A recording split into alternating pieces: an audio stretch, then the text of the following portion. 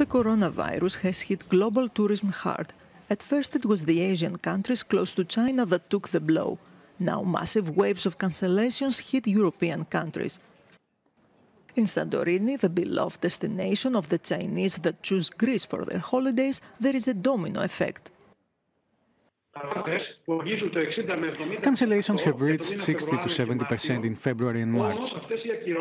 We fear we will reach 100 percent cancellations for the next month, April, as consulates have stopped issuing travel visas.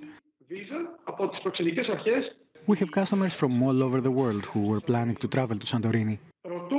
Now they call the hotels and ask if there will be any Chinese in the hotel. All over Europe, tourists from other countries, especially the United States, are cancelling their trips when they find out they will be vacationing close to Chinese. Visitors from Asia face fear and isolation. While we were interviewing a tourist from South Korea, a driver shouted, You should be wearing a mask. I have my mask in my bag, but I don't wear, you know.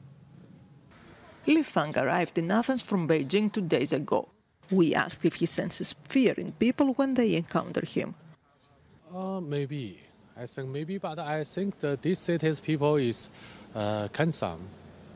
Uh, taxi or the uh, other people with the waiter is uh, handsome for us. The Hotel Association of Italy, the most popular European destination for Chinese tourists, warns the blow could destabilize the weak economy. Symela Touchtidou, Athens, Euronews.